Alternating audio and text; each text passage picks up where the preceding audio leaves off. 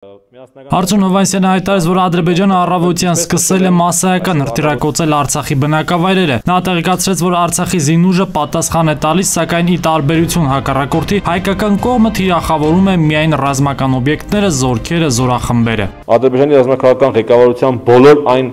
մեղադրանքները, որ ուղղված են հայկական կողմին, ապա տեղեկատվություն են եւ ոչնչով հիմնավորված չեն։ Հակառակորդը առավոտյան փորձել է լայնածավալ հարձակման անցնել գործի դնելով մեծաթիվ ուժեր եւ զրահատեխնիկա։ Արծուն Հովանեսյանը հայտարարեց, որ հայկական զինված ուժերը ադրբեջանական ուժերին տակտիկական նկատառումներով թույլ են տվել առաջ գալ, որից հետո այդ ուժերը հայտնվել են ծուղակում։ Ադրբեջանական բանակը ավելի քան 200 զոհ տալով հետ է շպրտվել։ Գերագետ գործողություններով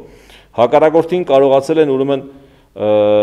մեծ կորուստներ պատճառել եւ հետ շպրտել մոտավորապես 200 եւ ավելի զոհ են տվել միայն հարավային ուղությամբ միայն այսօրվա մարտերի ընթացքում։ Մարտերը բավականին թեժ են եղել,